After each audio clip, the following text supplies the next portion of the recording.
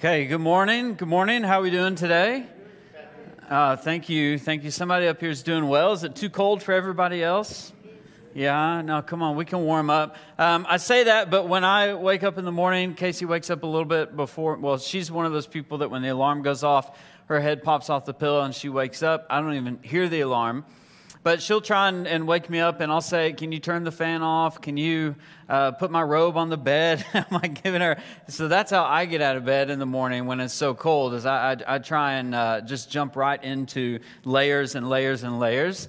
Um, but hey, I'm excited for today. Uh, I, I, think I'm always excited for Sunday mornings, and I refuse to let the cold make me unexcited or less excited. And so uh, we're going to bring a lot of God's truth today, a lot of energy, but we're also going to warm up this room today. Some of us may feel a little bit uncomfortable because we are talking about our words and, and how much our words matter and how much our words actually impact each other. And I'm, I'm going to have to start the service out um, a little bit confrontational. And uh, I, I just think that there's kind of no way around it, especially as, as I look at, you know, what some of you, well, let's not say you, but some people are posting on Facebook and social media and, and things like that. And I just feel like this idea that, that our words have weight to it and that our, our words are influential, not only for us, but, but for other people and, and even things that, especially what you post online. I mean, that stuff is so, so, so influential. Uh, in an age of misinformation right now, that can just come and, and really do some destruction. But let me start us off with a, a verse. Normally we work work into a verse, but I'm going to start off with it straight off here. Ephesians 4:29. This is Paul. He's talking to the church of Ephesus. And he's given them in chapter 4 a whole list of things that they should do in order to, to live a Christ like way.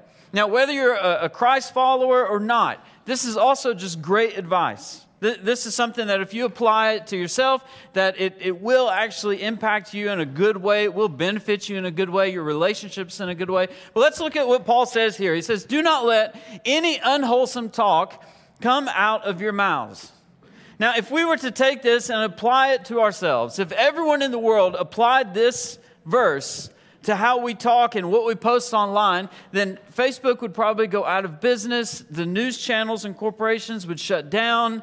Um, talk radio would have nothing to talk about and nowhere to go. You know, I think that this would have like a huge impact. It would have a big impact. But the truth is, is that we, we let a lot of unwholesome talk come out of our mouths. And, and I think that becoming aware of what you say is such an important thing to just being human.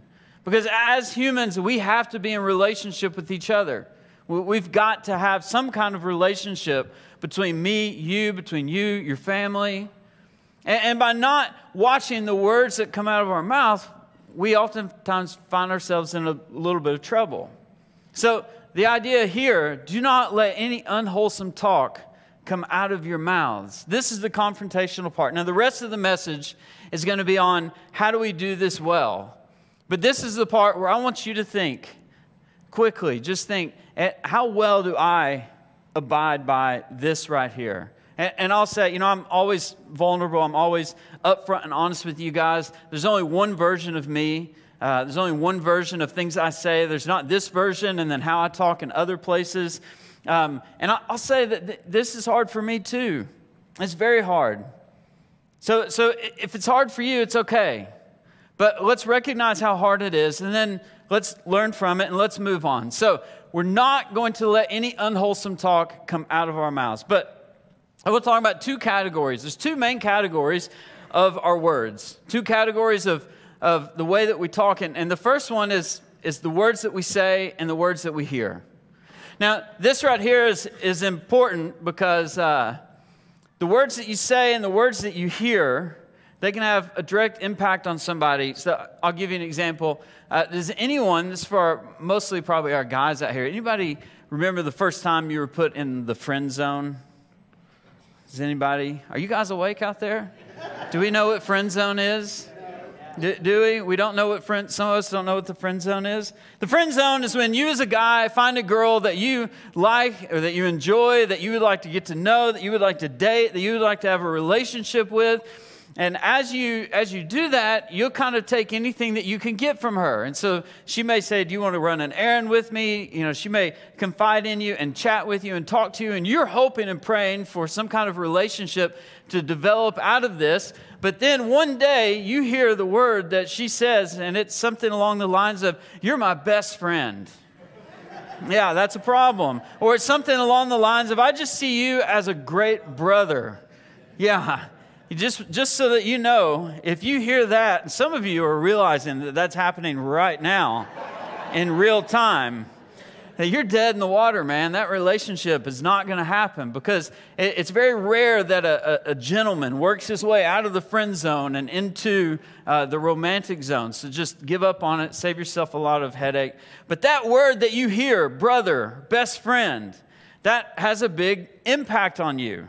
Now, also, the words that you say have a big impact on others because you can really say things to put people in a good mood. You can say things that put people like in a bad mood. So there's, there's words that you say and there's words that you hear. the second category, which is almost even more important, is that there's words that we don't say and there's words that we don't hear. Now, th- this is this is something that it's harder for me to find kind of a, a light-hearted um, you know, uh, example of this right here. But the, the one that I thought of, the one that a lot of people think of when they come to this is, is how many, th- this idea of the words that I don't hear. You know, we have this aching, like kids, we have this aching to be loved by our parents. And there are those of us out there and, and, and people that we know that have this, you know, unfortunate life where they grow up and they never hear a father especially a father, say the words, I love you. And so the fact that that's something that was never said or something that was never heard has had a real impact on them. So the bottom line is that there's words that we say that have an impact, and there's words that we don't say that have an impact. And the fact that the words that we don't say probably have a greater impact than the words that we do say then that just lets us know that, that the words that even that we do say also matter so much. It, it's a, it all points to how much this actually matters.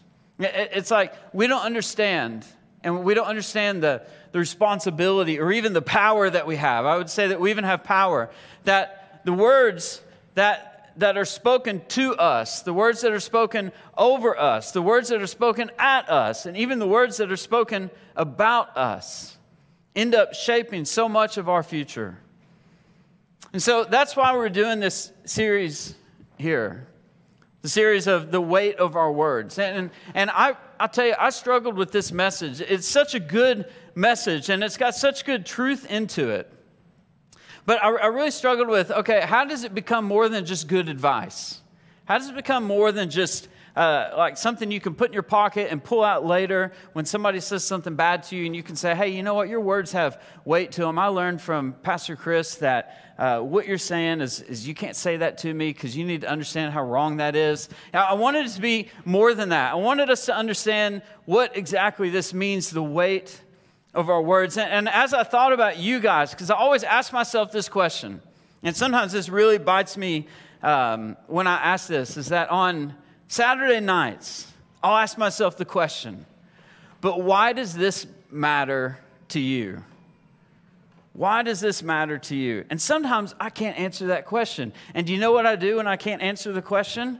I start over. And I just redo the whole sermon all over again until I can answer the question of why does this matter to you? Because I don't want to be so entitled that I stand up here and just because I say it, or just because I give you a Bible verse, or just because I say that the Bible says it, or that this is good advice, that you're just going to walk away with it and apply it to your life. I don't want to be entitled to just expect that from you. And so I always ask myself, why does this actually matter? And, and for, for this series, I was able to kind of say this does matter because this is one of those things that has the most potential, one of the things that has some of the biggest potential to actually shape your life and to shape the lives of those that are around you. Also, this is one of those things that has the most potential to fast in the fastest way, in the most, uh, in, in the quickest way, how to turn your life around or how to turn around the lives of somebody else. In fact, if you're in a broken relationship, and, and I know that we, we all have them, I, I know that there's some in here. If you're in a broken relationship, the fastest way that you can start mending that relationship is by understanding the weight of your words.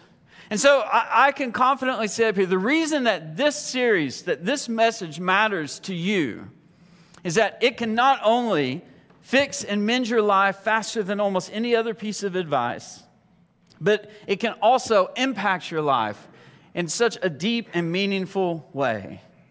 And so, in this series, I'm going to be giving three considerations for us to take. These, these things are just kind of uh, pieces of good advice, but these are three considerations that we need to look at and take when it comes to the way that, the, the way that we talk. So, let's look at the first one here. The first consideration is this, and today we're just going to focus on, go, back one. Karina's giving you guys a sneak peek at what's ahead there.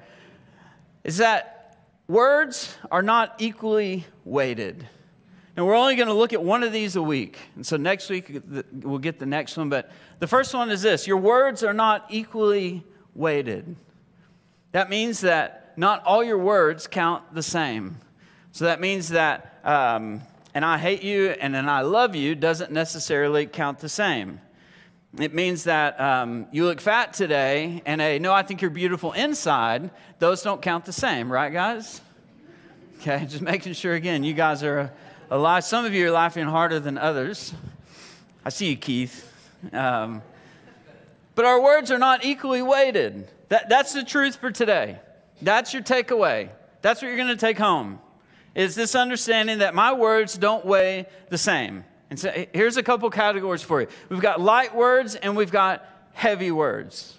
And when it comes to light and heavy, there's light words which are, let me put it to you this way like um, words that, like, you look nice today does not count as much. Maybe it's not heavy as heavy as, as I love you. But there's words that, that weigh a little bit and words that weigh a lot. And the problem with us is that we come into this thinking, Okay, all my words are the same, especially people that I, I, love when people start a conversation or they enter into a conflict and they say, "But you just need to you just need to know me." Because if you knew me, then you would understand that I'm just joking with you and you shouldn't take something that seriously. And I, am like, it's, it's not my responsibility to create a card catalog of everybody in my life and write their uh, personality preferences on it so that when I walk up to you, I say, okay, it's nice to meet you. And I pull your card out and I say, okay, sarcastic, doesn't think about what he says, don't be offended. Um, they'll forget my name when I walk away from them. And then everything that you say, I filter through that card. And then when I go meet somebody else, I pick up their card and I say, okay, super sensitive is going to be offended by everything that I say. Um, you know, and I, I can't walk around, we can't walk around with, with a catalog in our head of everyone's preferences. We, so when someone says to me, you know, hey, hey Chris, you know, I, I, I know that maybe I hurt that person, but they just need to understand, they don't know who I am. They just need to get to know who I am. And what I would say is actually, we all need to realize that not all of our words are light and not all of our words are heavy. And some people will see things as different weights. So we think that we're walking around with, with a, a, word that's 5 kg and we throw it around, we throw it around, and everything's funny and everything's fine. And then all of a sudden we pick up something and we throw a word around and we think it's also a 5 kg, and it's not, it's 100 kilograms. And it hurts somebody's feelings. Have you ever been in a conversation with, with a spouse? This is why Casey and I don't joke with each other. I mean, we have fun, we talk to each other, and, and we laugh and we tell stories and all that, but we don't pick at each other. And some of you, your relationships terrify me because you guys pick at each other constantly. But I've been a bystander before where I've seen this play out, where a friendship or a relationship starts out and, and they're, you know, they, they kind of take a jab at each other and they're joking and everyone's smiling. And all of a sudden somebody says something, you know, like, well, I don't like your mother in law. She's horrible. And then it gets, you, you just feel the energy in the room just, whoa. they thought they were throwing a five kg weight with that word, but it ended up being a whole lot heavier. And it just kills the conversation kills the mood. We need to understand that there's light words, there's heavy words. There's also positive words and there's negative words. And positive and negative doesn't necessarily mean light and heavy. Negative words can be very light, they can also be heavy, same with positive. But we need to understand a big part of this right here is, is did you know that on average, they say that it takes about 10 positive words to equal the same as one negative word. So, you know, I, let's take me for example. I, I walk off stage here on a Sunday morning, and I can have uh, every single person in this room say, That was a great service. Not just my part, but everybody's part. And then if I go home and, and I walk in the door and Casey says, Man, today was horrible. What happened there? You know, which she would never say and does, has never said. But all of a sudden, all those positive words are poof, thrown out the window. And I'm going to focus just on this one negative thing. So, bosses, managers, are you balancing out your positive to negative? Moms, dads, dads, as you uh, are, are with your kids, with your sons, are you critical? Are you overcritical? Is all they're hearing the negative? Are they also hearing the positive? What is it that you're saying? What is it that you're not saying? So there's positive and negative here. But we need to understand that we need a whole lot more positive to equal that negative. And then, kind of the last category I have here is the situationally light and heavy words. And again, I can use love here, you know, uh, as another example. If I say, I love this apple, that is not the same as me saying, I love Casey. That's not the same kind of love. And in fact, situations can change how heavy a word is or how heavy a word is not based on what kind of situation that you're in. So, situationally, you can be in a spot where it is okay to joke. But if your wife is crying and upset because, you know, she's been hurt by somebody at work, it's probably not the best time to say something lighthearted or a joke, or if you do, it comes across as something heavier. You know, that, that's not the, probably the time to say, you know, hey, you've got peanut butter smeared across your face there because she's been dealing with your kids. So we've got light and heavy, we've got positive, we've got negative, and then there's situations that apply. Your words matter, your words have weight and they don't all weigh the same. And so we're going to pick back up with this verse that Paul uh, leads us to here in Ephesians. And Paul's writing this letter to the church of Ephesians. And we're going to, I thought it would be kind of fun this morning for me to kind of show you how I study the Bible. So I'm going to take you guys through this verse in the same way that, that I will go through a verse. This is how I gather meaning from it. This is how I kind of learn about the Bible. So if you don't know how to study the Bible, if you don't know how to kind of figure out what God is saying in, in the Bible, this is a great way for you to learn how to do this. And it's not, it's not complicated, it's not technical, it's quite easy. So Paul says in this verse in, in Ephesians 4:29, and he's speaking to the body of Christ, he's speaking to the church. You know, there's also a verse that Paul says that we are not to judge those that are outside the church because Jesus said we're supposed to go and love those people. Love them and only love them. That's, that's our mandate there. But people within the church, if you're a member here, if you're coming to church, if you're in community or you're serving, then, then we do have the ability to judge you. And what I mean by judge is, is hold you to a godly standard. And so, what Paul is saying by this is he's saying, hey, church and church members, I want to hold you to a godly standard. I want to hold you to it this standard because it's good for you. It's a standard that will help your life, that will benefit you. And so he tells them this. There's so much in this verse here. He says, okay, guys, church, do not let any unwholesome talk come out of your mouths. Now, this word unwholesome, so this is how I study the Bible. This is where I start from. I, I find a word that I like unwholesome. Okay, what does that mean here? Did you know that in the original text for unwholesome, it references like rotten fruit and rotten fish? So, what Paul is saying here is you don't want to let rotten fruit and putrid fish come out of your mouth. See, what Paul is, is helping us understand is that our mouth is like a gate, and we are the gatekeepers. And so it's our role and our job to try and keep that gate closed when it needs to be closed and open when it needs to be open. But in order for rotten fruit and putrid fish to come out of your mouth, we've got to recognize what are we putting in that's impacting what comes out. And so if you're putting rotten and putrid things in through TV, through the movies that you watch, the people that you hang out with, if you're putting those things in, then when you open your mouth and speak, it's going to be bad stuff that comes out. So he's saying, Christ followers, church, be careful here. Don't let anything unwholesome come out of your mouth. There's also with that, hey guys, make sure you're putting the right thing in so that as you put good things in, good things come out. So if you find yourself, if every time you open your mouth and you say something, it's negative, it's critical, it tears somebody down, it doesn't build up, it doesn't help somebody, then you may have some rotten fruit and putrid fish in there that needs to be dealt with. And you may need to look at what you're putting in so that what comes out is a bit better. So now we continue back into the verse. And so we go to the next part that I found very interesting here. Do not let any unwholesome talk come out of your mouths. I'm also hoping that this helps you memorize this verse. But only what is helpful for building others up according to their needs. So, this part, but only, you, you know what that means? But only. See, what Paul is saying is you don't have an option, you don't have a choice. So, right now, let's assume I'm speaking to two different groups of people. We've got those of you that identify as a Christ follower. And then we have those of you that don't identify as a Christ follower. And in fact, I hope there's a whole bunch of you that don't identify as a Christ follower. I hope that you find today a good service. I hope you find this a good experience for you. And I hope you feel super welcome to be here. And so these things that I'm saying now for the but only, it doesn't apply to you.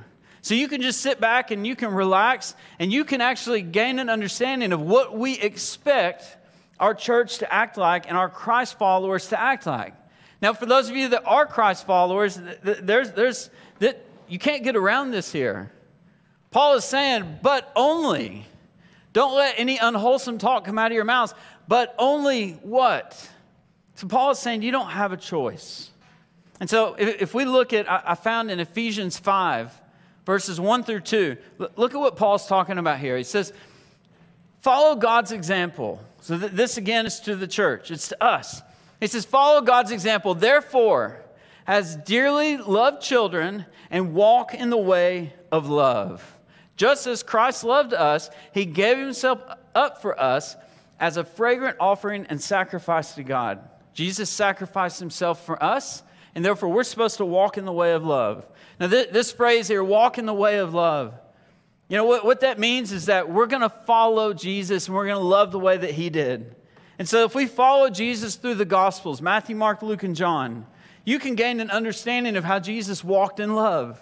And that doesn't necessarily mean that it was always fruity and flowery. It didn't, when Jesus loved somebody, a rainbow didn't burst from the sky and doves didn't take off from the ground. And you didn't hear soft ambient music in the background and people didn't, you know, feel all warm and fuzzy on the inside. Sometimes love looked like turning over the tables in the temple when he walked in and he found money changers, people that were using the temple for their own purpose and to kind of manipulate for more money.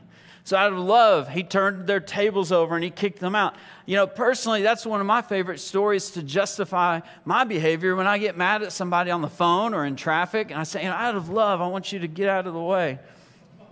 You guys are quiet this morning. You guys are quiet. Yeah, Lindsay's not. Thank you, Lindsay. So, what Jesus is saying here is he's, he's showing us the example through the way that he loved us. He gave his life to die for us. He, he, he bled, or he cried tears of blood for us. He sacrificed for us. He, he was beaten for us. He didn't judge out of his love for us. Jesus didn't, he didn't put people down. He didn't hurt people. See, Jesus set the example for what the gospel is, and he set the example for what love is. And so, as a Christ follower, when Paul says, but only, you go back one more, Karina. When Paul says, but only, walk in the way of love. As a Christ follower, we have the example, the standard, and that's it. There's no deviation there. And, in fact, now, Karina, you can put it up here. There's this just this awesome truth for us as Christians to understand. We get to choose whether or not to follow Jesus. We get that option. But we don't get to choose what it looks like, how it reacts, or what it sounds like. So if we choose to follow Jesus, then we sacrifice and we give up our, our right or our ability, our entitlement to say, this is what it should look like, this is what it should sound like, and this is what I should react like. Instead, we look to Jesus. He is our only model. That's what Paul means by but only. So, what Paul is saying, but only look at the way Jesus does it, and that's the way that you're to do it. So, now let's move on with the verse here. We go back into it. Do not let any unwholesome talk. So, we know what unwholesome talk is it's fish breath. And he says, Don't let your fish breath come out of your mouths, but only, but only, we know what he means by but only. He's saying, but only, Jesus is your model. You can only use that model. But only what is helpful for building others up. Helpful for building. You know, as, as I thought about that phrase, what, what, does he mean by helpful for building? Helpful for building, it's, it's, it's like imagine a construction site. These are building blocks. How do we build somebody up? See, we're only supposed to use words, and we're only supposed to say things that are helpful for building people up. We don't tear things down, we don't tear people down. We build people up. We lay the foundation for people. Somebody is insecure in your life, and you know that they're insecure about the way that they look, and you can tell them, hey, man, you look great, you look great today. Or you can, you can speak into somebody's life that deals with guilt and shame, and you can help them to build a better foundation around that so that they're not walking on a foundation of guilt and shame. Instead, they're walking on a foundation of forgiveness, a foundation uh, of healing.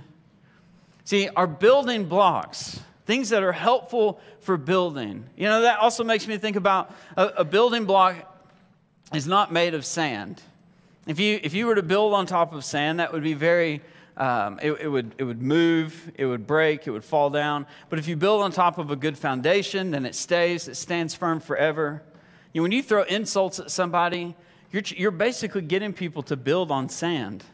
When you get on Facebook or, or Twitter or Instagram and you criticize somebody for what they've said or the way that they dress or, or some stance that they've taken, even if their stance is wrong, it's not our role to cast sand underneath them. It's not our role to throw sand at their feet.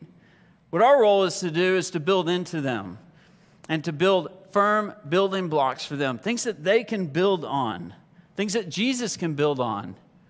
You know, some of the things that we need to start saying more to people is, hey, you know, God loves you. And I, I love you. It doesn't mean you have to like the person, but it does mean that we're called to love people. So when we say, when Paul talks about building blocks, when Paul says that you are going to only say words that are helpful for building. That means that these are good words, these are firm foundation words. And then he, he goes on here in the next part of this verse. It says they're helpful for building, but now he, here he's going to tell us what, it's, what, what they're building towards or what they're building for. They're building according to their needs. Now, th- this is something that is so hard for, for so many of us. See, it says they're building according to their needs. So you're going to say something that is foundationally a building block that's kind for somebody according to their needs. That's not as easy to do as we think because here's how we end up doing it.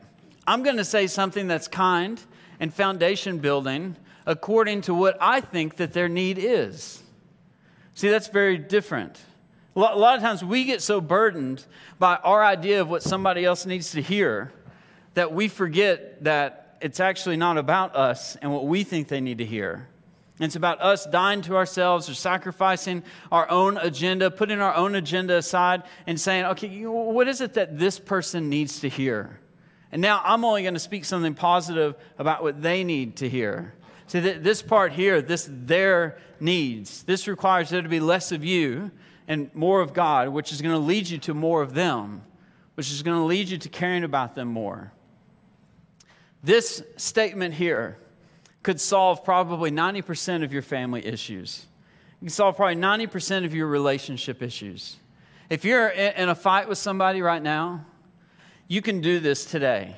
You can say, What do I think they need to do?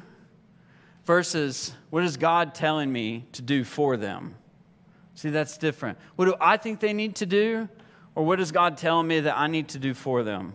What I need to do for them is say, I'm sorry. Or what I need to do for them is tell them, hey, you know what? I, I love you. Or I forgive you. Or, uh, you know, you are an amazing person. You're really good at what you do. I can see that you're a loving person, a caring person, because you've given up what I think they need to hear. And you've asked God, tell me what I need to do for them. Now, Paul goes on, and just to, to round this out here, he says in this verse, Do not let any unwholesome talk, no fish breath, come out of your mouths. But you're only, but only, no other option. Anything else that comes up, God's going to be like, nah, nah. It's like I'm talking to Wyatt, our, our little one, one and a half year old. Be like, nah, don't touch that, nah. You know, he thinks his name is nah. Because every time he does something, he looks at me like, can, you know, can I do this? Can I touch this? And I'm like, ah, and, you know. And so anytime you get ready to say something that, that doesn't fall under that, but only God, if you're a Christ follower, God's like, ah, no, no, no, no. You don't get to say that. So we're only saying what's helpful for building people up. And we're only saying what's helpful for building people up according to their needs and not your burden, not what you think their need is. And the reason that we're doing that is so that it may benefit those who listen. So we, we want to do this for the good and the benefit of others. And we want to do this so that other people are better than they currently are now. We, we want to do this so that it benefits them. We want to pour into people. We want people to be better. We want people to feel better about themselves. We want people to accept truths that they have a hard time accepting. We want people to walk into more freedom. And instead of just telling somebody what they want to hear over and over and over again, this part of benefiting those who listen, it, this may be you telling somebody something that they don't want to hear. And the reason that you can actually do this, there's a, a very important phrase here, and it's this that intent is just as important as content. So, the intent of what you're saying really sets up the content of what you're going to say. So, if you find that you really love somebody, that you're really trying hard to not let unwholesome talk come out of your mouths, that, that if you can only say unwholesome things, you're taking your heart to God and you're saying, God, remove all the fish. God, remove all the, all the gunk that's in me. Just take all that out. Let me have a clean heart. In fact, I'll, here's the process for, for you. This is a process that you can walk through today.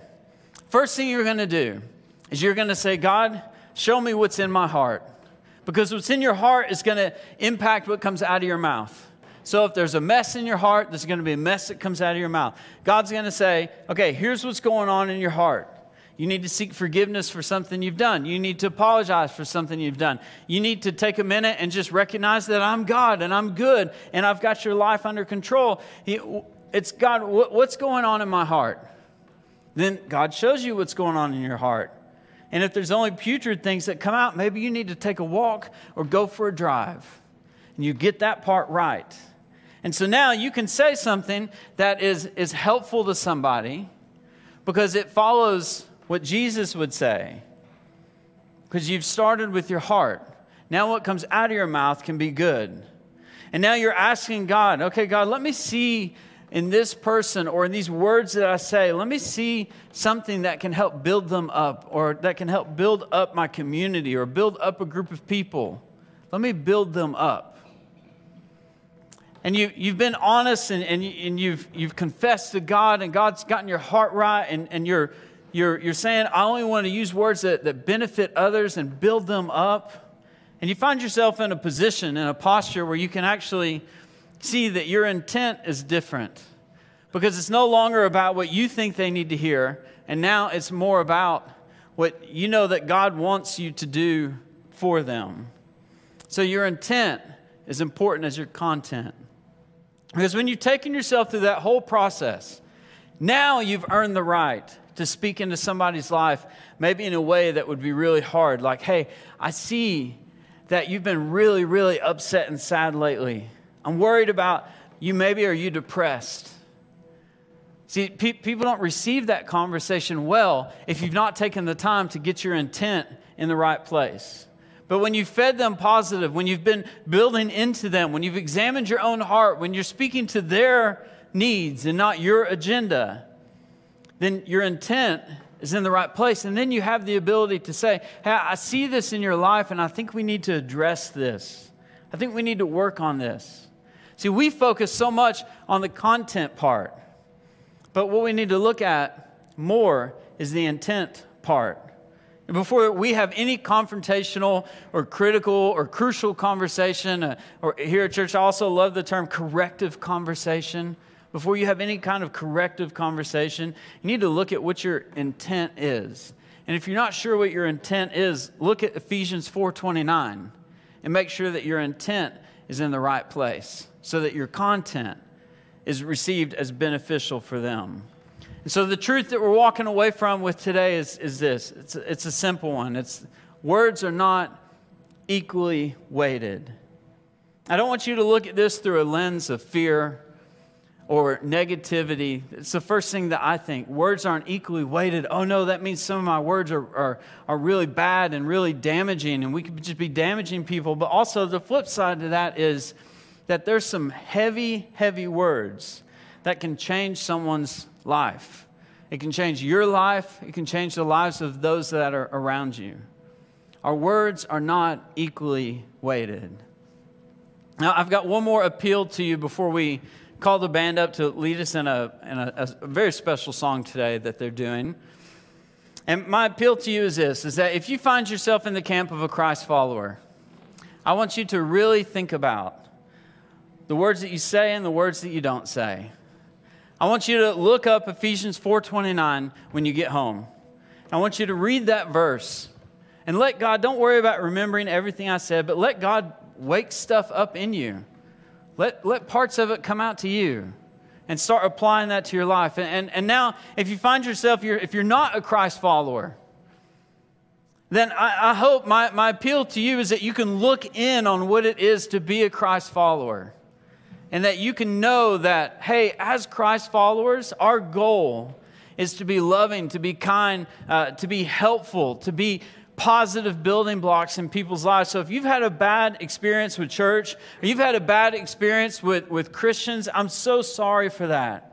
And, and, that's because church is full of people and people are broken, and, and Christians are people and people are still broken, whether they're a Christ follower or not. And yes, negative things end up happening, but remember, I want you to see what it is that we're teaching, what it is that Jesus has called us to. So, so don't let maybe a negative experience with a person turn you off to this. Instead, look, look at what we've taught today. Look at what Jesus has said for us to do with our words. And maybe that's something that's attractive to you. Maybe you would consider looking at Jesus for more wisdom, turning to Jesus for more things, listening to that friend that does want to tell you about a Savior that died for you. And so I'm going to close this down in prayer here. And as I pray, I'm going to pray that God puts words on your heart, that God awakens in you words that are, are good, words that are bad, that God draws something from Ephesians 4:29 to you. So heavenly Father, I thank you, Father, for just how good you are. Um, I thank you, Father, for how much you love us. In fact, as I stand up here and Father, I want to do something, and I pray that you would bless this. Um, and so, with, with your heads bowed and your eyes closed right now, uh, I, I, want you to just think about the person sitting next to you. And, and don't worry, I'm not going to ask you to talk to them. I'm not going to ask you to touch their shoulder. I'm not going to ask you to do anything with them. So it's just you and your chair. You've got somebody on your left, somebody on your right. I want you to just think about that person. Even if you don't know them, that's okay. Just, okay, I've got a human being on my side. And, and now, what I want you to do is, I want you to just silently just in sort of a prayerful manner, I want you to just pray a positive word for them. And you, the great thing is, is you don't even have to know them. You don't have to know them at all. If you, and if you don't know how to pray, if you've never prayed, then, then just, you don't have to say anything at all. You just hang tight. So, Lord, I, I pray that um, throughout the room right now, that every single person in this room is getting something just positive prayed over them. And Father, if people don't know what to pray, then, then drop a word in their heart. But some examples could be uh, Jesus loves you. Some examples could be I, I don't know you, but, but the fact that you're here sitting next to me, it's because of a purpose. And so, Jesus, you know, speak to this person. You know, if you know the person, if they're uh, in a relationship with you, friend or family, then you can say something more intimate towards them. You can pray that prayer for them. But Lord, I pray that, that throughout this room, that people are taking an opportunity to practice saying positive, life building things over the people that are next to them. And if you're sitting next to somebody that you had an argument with this morning, somebody that's already rubbed you wrong, then please, I implore you to just silently, they don't have to know you're saying it but just silently pray something positive over them, something life building over them. Call out in them something that you know is unique and special and amazing to them. So, Lord, as we have all had something spoken over us and prayed for us that's positive, I pray, Father, that you now do the work and you move and that you continue to work in people's lives and people's hearts and in the words that they say. And Father, I pray that part of what, what makes Southpoint a, a catalyst, a jumping off point for so many people to come to know you, Jesus, and get an opportunity to have an encounter with you is because we say life giving things here. We call out the best in people. We want to have a reputation here that if you think the worst of yourself, then you know to go to Southpoint Church because Southpoint and its members, the people that are in it, are going to say the best in you. They're going to claim the best for you. They're going to speak God's truth over you. And so, Lord, I pray that that reputation just spreads throughout our city, that this is the place where people come to be believed in, the place where people come to be hoped for, the place where people come to be considered family. So, Jesus, we pray this in your name. We declare it in your authority, Jesus. Amen.